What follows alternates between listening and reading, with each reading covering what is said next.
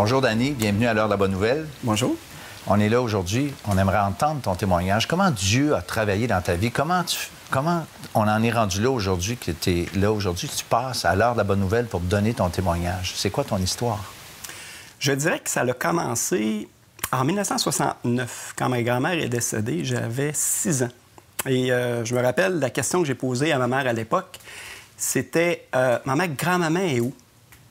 Et euh, la réponse de ma mère était celle-ci, c'est la meilleure qu'elle a pu me donner à l'époque, un petit garçon de 6 ans qui cherche spirituellement quelque chose. Et elle m'a tout simplement dit, ben Danny, on va le savoir juste quand on va être mort. Et euh, cette phrase-là est venue me chercher vraiment. Euh, je me rappelle encore aujourd'hui. Et euh, je l'ai traînée jusqu'à dans mon adolescence. Cette soif de vouloir connaître Dieu, mais en même temps qu'il semble qu'il est inaccessible ici sur la terre, puis c'est juste quand on va le rencontrer qu'on saura un jour si on va être avec lui ou non.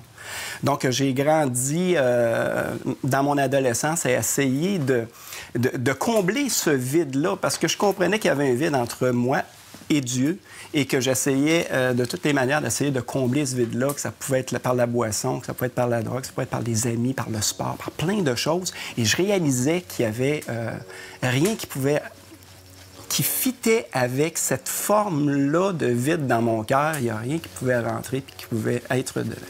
Et euh, donc, dès l'âge de 14 ans, j'ai commencé à avoir des, des idées suicidaires. Et j'étais un garçon qui était très timide la vie pour moi, c'est comme si je fitais pas vraiment sur cette terre-là. Je n'étais pas quelqu'un. J'étais quelqu'un qui riait beaucoup, qui avait beaucoup d'amis, une belle famille, euh, des, frères, des sœurs, des parents exceptionnels. J'avais une belle gang, mais en même temps, à l'intérieur de moi, je pleurais littéralement. Je cherchais quelque chose que je savais pas c'était quoi. Et euh, donc, euh, dès l'âge de 14 ans, il semblait que la seule chose, le, le seul fin dans ma vie, c'était d'en finir parce que la vie vaut pas vraiment la peine d'être vécue. Donc, j'ai grandi toute mon, mon, euh, adolescence comme ça, de 14 ans jusqu'à 18 ans. Et à 18 ans, bien, là, s'est produit quelque chose, je ne serais pas nécessairement d'exceptionnel, mais c'était à 18 ans où là, je me suis dit, ça en est assez. Après quatre ans euh, de vie sans Dieu, de vie sans, euh, sans être capable de répondre à ce vide-là, à un moment donné, j'ai dit, là, c'est tout. C'est trop important pour toi, là.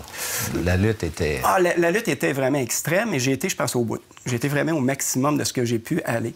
Et euh, il y a eu quelques événements qui ont euh, amené ce, déclenchement-là. Euh, le premier événement s'est produit le, 8 mai 1982, quand Jules Villeneuve est décédé. C'était un de mes héros. Et quand il est décédé, puis je l'ai vu à la télévision, je me suis dit, waouh, regarde, c'est fini. Il y a 30 ans, le, monsieur, là, il, c'est fini la vie. Là. Il me semble qu'il y a quoi après? Et euh, c'est le premier élément déclencheur. Le deuxième élément déclencheur, c'est une chanson de, Genesis, Upper's Ready, où j'essayais de traduire. Et, je comprenais que ça parlait de la Bible, de Dieu, de la rencontre avec lui, d'un souper qu'on peut avoir. Et wow, ça a tout déclenché des, petits éléments qui faisaient que euh, il y a encore espoir, il y a encore peut-être quelque chose. Il y avait un peu de lumière, là, comme au bout du tunnel, mais oui, c'est ça, mais je savais pas trop c'était quoi, mais il demeurait quand même qu'à l'intérieur, c'était très fort. Et en même temps que j'avais tout ça, dans ma tête, c'était clair, net et précis que j'allais me tuer. Donc, euh, euh, le, 26, on est le 25 mai euh, quand je traduis cette chanson-là. Le 26 mai, je, m'en vais me coucher, puis je retourne à la brasserie où je fréquentais à l'époque pour la fermer, comme je faisais presque à tous les jours, en tout cas plusieurs fois par semaine. Et quand je suis sorti de cette brasserie-là, j'ai vu comme une sorte de, de, de comme si tous mes péchés étaient devant moi. C'est difficile à, décrire, mais, ma vie était comme waouh, c'est pas fort mon affaire. Et c'est la première fois que j'ai crié à Dieu, là, dans le stationnement de, cette brasserie-là, j'ai dit à Dieu, si tu existes, si c'est vrai que tu existes, si tu es là, il faut que tu me parles là parce que demain, je me tue. Et c'était clair dans ma tête. C'était vraiment tout.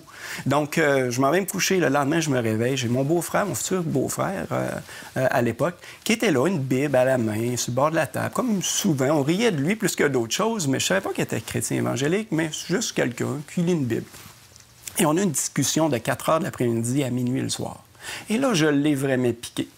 Et là, j'étais là, si Dieu y est bon, pourquoi est-ce que les, gens en Afrique meurent de faim? Si Dieu y est bon, pourquoi que des filles se font violer? Si Dieu est bon, pourquoi telle affaire, telle affaire? Là, je le piquais tout le temps. Il n'était pas capable de me répondre à aucune question. Il n'était pas capable d'ouvrir la Bible et me dire, c'est un nouveau chrétien, quelqu'un qui venait juste lui aussi de rencontrer le Seigneur. Il n'était pas capable. Et là, à la fin, j'étais bouché. C'était dans ma tête, c'était ça. Toi, avec ta Bible, là, tiens, Et juste à la fin de tout, il m'a juste dit, regarde, prends l'évangile de Jean. Puis si tu cherches vraiment Dieu, ben euh, lis ça, puis demande à Dieu qui t'ouvre les yeux.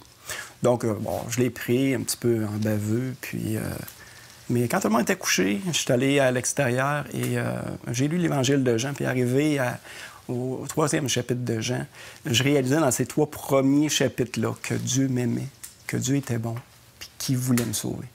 C'était clair. Et il y avait cette lutte en, en dedans de moi qui disait Ah, Dieu, regarde comment est-ce qu'il est. Il est juste orgueilleux. Là. Il veut juste que tu le suives lui seul, que tu laisses tout puis que tu le suives. Il est orgueilleux, Dieu. Et de l'autre côté, on me disait Ouais, mais si je suis si orgueilleux que ça, pourquoi j'aurais donné mon fils pour toi? Et là, cette lutte-là, elle était là pendant environ deux heures de temps. C'était vraiment déchaîné en. Je, vivais ça à l'intérieur, cette lutte. Je sais maintenant ce qu'elle est, cette lutte. Mais à l'époque, je ne savais pas trop ce que c'était. Et, finalement, j'ai comme cédé. Et je me suis levé, puis battant. Je suis allé dans le stationnement de l'église, juste à côté de chez moi. Et là, j'ai levé les yeux au ciel. J'étais une personne très orgueilleuse, mais là, j'ai pleuré. Et j'ai dit, si c'est vrai, si tu es capable de sauver aujourd'hui comme tu as fait il y a 2000 ans, ben, fais-le et je vais te suivre pour le restant de mes jours. C'est produit vraiment rien d'extraordinaire, là. Pour moi, c'était... Bon, c'est tout. J'ai parlé à quelqu'un qui est réel, irréel, je sais pas trop, mais j'ai dit ça. Mais quand je suis retourné chez moi, il y avait comme un fardeau qui était parti. Je comprenais pas tellement bien, mais je savais que ça me tentait pas vraiment de me tuer là. Donc, euh, je, me suis levé le, lendemain. Mes amis viennent à la maison. On joue au billard. J'ai une table de billard chez moi. Puis là, un de mes amis me dit Hey, qu'est-ce qui se passe avec toi? Quoi, qu'est-ce qui se passe avec moi mais Il me semble que t'es pas pareil. C'est quoi qu'il y a? Ben, ça fait une heure qu'on joue, puis tu sacs pas. J'étais un blasphémateur. Je, je, sacrais adjectif, verbe, adverbe et tout ça. J'étais comme ça. Et là, je, ben, je sais pas ce qui se passe. Et j'ai passé environ un mois comme ça à me faire dire par mes amis, parce que je les rencontrais encore, je les aimais, c'était ma gang, c'était une de mes raisons de vivre à l'époque. J'étais toujours avec eux autres. Mais c'est eux qui me ramenaient cette image-là de il se passe quelque chose dans Ils ont vu le changement, eux. Oui, ils l'ont vu. Moi, je, je ne savais pas ce qui se passait dans ma vie, moi. Là, là. J'ai jamais fréquenté d'église évangélique. J'ai rencontré un évangélique, mais je ne savais même pas qui il était. Le langage évangélique, je ne le connais pas. Je ne connais rien de ça. J'ai fait une prière un jour sans savoir où ça me menait. Et ça l'a mené à bouleverser ma vie. Et petit à petit, c'est les gens, si on peut dire, non-croyants, qui regardaient ce qui se passait dans ma vie et qui disaient Danny, t'es pas pareil.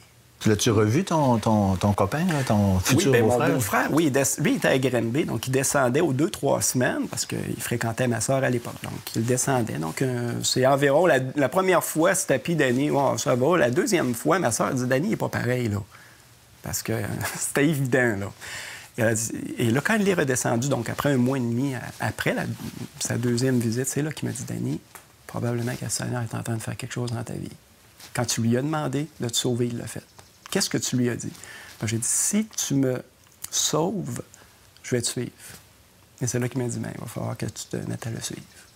Et petit à petit, euh, je dois dire, malheureusement, il a fallu que je laisse ma gang d'amis, que je rencontre de temps en temps des amis, puis que j'ai toujours plaisir à les voir, mais on a comme pris deux chemins différents. Mm. Euh, j'étais plus à l'aise comme j'étais avant. Et là, j'avais comme une, nouvelle vie. Bref, le Seigneur, depuis ce temps-là, a fait des choses euh, merveilleuses dans ma vie. Et euh, c'est sûr qu'après 30 ans, s'il y a une chose que je ne regrette pas, c'est d'avoir un jour, le 28 mai 1982, à 2 heures du matin, à la pluie attendre, dire Seigneur, si tu peux, fais-le. Merci infiniment, mon cher Danny. Bienvenue.